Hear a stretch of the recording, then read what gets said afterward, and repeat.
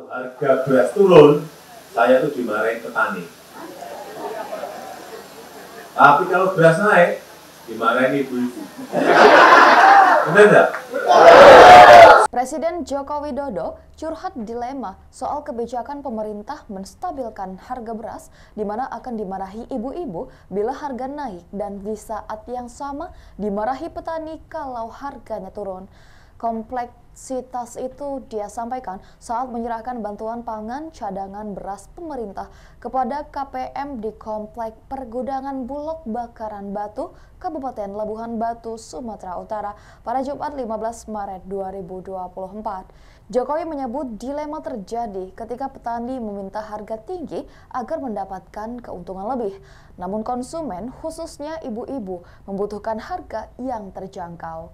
Ex-Gubernur Jakarta ini menegaskan mengelola pangan untuk masyarakat Indonesia yang mencapai 270 juta orang bukanlah hal yang mudah. Terlebih saat ini, terdapat tantangan produksi beras untuk memenuhi kebutuhan tahunan sebanyak 31 juta ton. Produksi beras yang menurun terjadi menurutnya karena kondisi iklim. Ikuti terus berita menarik lainnya. Jangan lupa like dan share seluruh akun Tribun Medan. Kalau harga beras turun, saya tuh dimarahin petani. Tapi kalau beras naik, dimarahin ibu-ibu. Benar nggak? Sulitnya pemerintah di situ mencari keseimbangan itu yang sulit. Saya pas beras naik, saya main ke sawah, wah petani seneng, terima kasih pak, terima kasih. Begitu saya ke pasar ketemu ibu, Pak gimana ya harga beras Pak?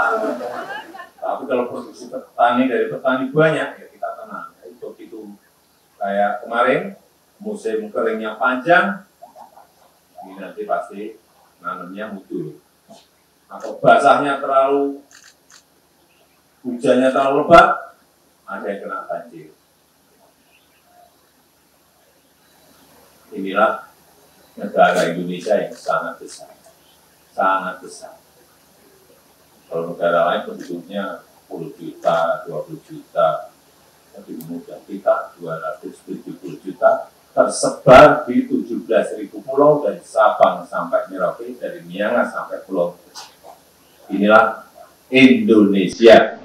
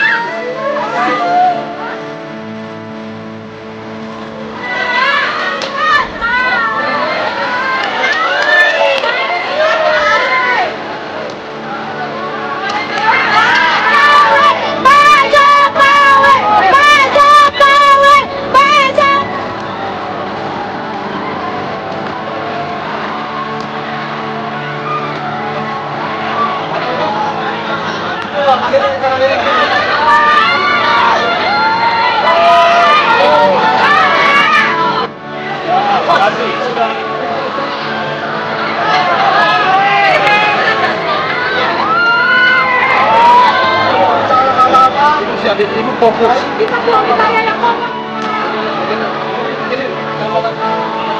Pak